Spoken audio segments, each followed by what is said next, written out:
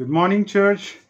We read in the Gospels how Jesus was put under a mock trial and unfairly given the death sentence. The crowd screamed and demanded, Kill him! Let Barabbas, the murderer, go free, but kill Jesus. That death sentence to Jesus was given, a death on cross that did not pacify the crowd because they still wanted to mock him and insult him and hurt him, injure him and make him suffer as much as possible. So much of contempt, anger, rage, hatred. He was beaten mercilessly. He was bleeding profusely. He was hardly recognizable, and yet the crowd wanted to hurt him more. The hatred and anger of people for so many hours on a defenseless man gives us an ugly picture of what sin can do to a human soul. And Jesus was taking it all silently, praying to God that Father, forgive them. They do not know what they are doing, they are ignorant. And we, when Jesus took the sins of mankind, he was separated from God the Father, and there was darkness on earth. And we read this in Luke chapter 23, verses 44 to 48. It was now about the sixth hour, that is twelve noon. There was darkness over the whole land until the ninth hour. While the sun's light failed and the curtain of the temple was torn in two, then Jesus, calling out with a loud voice, said, Father, into your hands I commit my spirit. And having said this, he breathed his last. Now, when the centurion saw what had taken place, he praised God, saying, Certainly this man was innocent. And in verse 48 we read, And all the crowds that had assembled for the spectacle, when they saw what had taken place, they returned home beating their breasts. So, why did the crowd gather? So that they could see a spectacle. And what was the spectacle? Our Lord Jesus Christ on the cross dying a shameful death. And people had gathered to see this spectacle. The people at Calvary mourned after they saw what happened with when it became dark for three hours.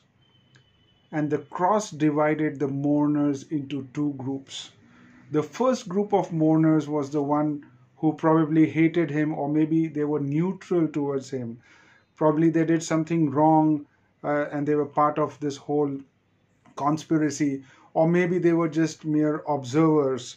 But when they witnessed this darkness, this group realized that Jesus was the man of God, he was probably a prophet, and they feared the consequences, the judgment and punishment of God. And this group left the, that place. This group mourned that he was so dealt so cruelly that he had to go through this excruciating pain after they realized in the darkness for three hours what happened. Even today, many people mourn on a Good Friday and they remember this dreadful day. They remember the agony of Jesus and everything that he has to go through. They mourn thinking that Jesus died as a martyr, and this group could only see what was visible to the naked eye. And then there was a second group of mourners. They probably hated him, uh, or they were neutral towards him, or they loved him as a man, as a teacher, but after a point, they realized that Jesus is the Son uh, of God and that Jesus is God, and that they could see why he died on the cross. They could realize that it was their sin. That was the reason he was on the cross. They could see their sins on the cross and they could see themselves being crucified on the cross. They realized that it would have been, uh, they would have been crucified, but it was Jesus in place of Uh, their crucifixion and they mourn for the damage that their sin did to Jesus and to God. And they could realize how big this sin was because of it. God had to do such a, a big thing that was never done before. God the Father and God the Son were separated, and Jesus took the sins of the world and he was on the cross. And they could now see that cross is a personal experience to them. They, they were able to connect to the cross. And this group of mourners are the one who would soon rejoice because they saw the sins on the cross and they saw themselves on the cross. Now they realized that they were crucified to the world and to the sin, and now they could see the invisible power of the cross, as Paul mentions in 1 Corinthians chapter 1, verse 24.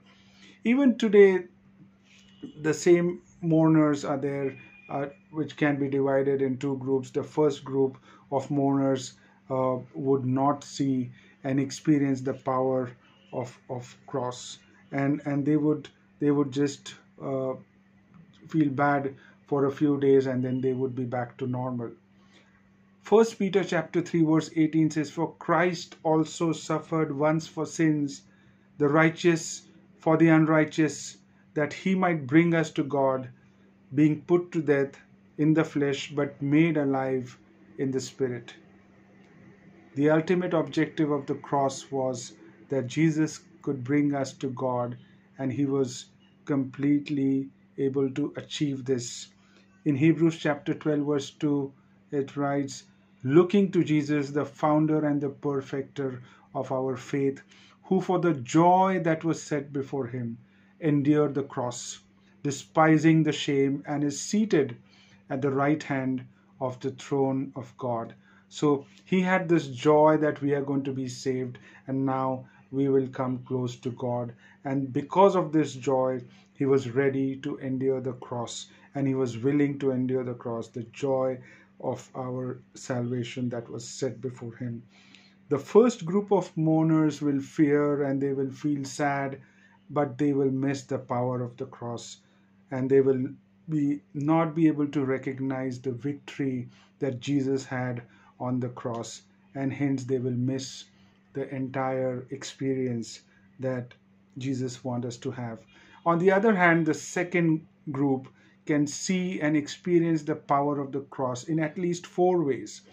Number one, they could see that it is the power of the cross that made it possible that now they are recon- reconciled to God.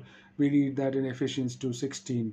Or number 2, they can see and experience that the cross has the power to separate us from the world. Galatians 6:14 which says the world has been crucified to me and I to the world. So that's the ultimate separation. That's the real separation. Number 3 they can see and experience that the cross has the power to cancel our debts. Colossians 2:14. Or number 4 they can see and experience that the cross gave them the power to ignore their sinful self Galatians 2:20 says, "I have been crucified with Christ. It is no longer I who live, but Christ who lives in me, and the life I now live in the flesh, I live by faith in the Son of God, who loved me and gave himself for me." So this we have now the power to ignore our sinful self Praise God for the cross. It is the ultimate, the greatest love story ever told, and every human being deserves to hear this story and the agape love of God. Thank God that we are having a praise march where we have this opportunity to, to talk about the cross and talk about Good Friday.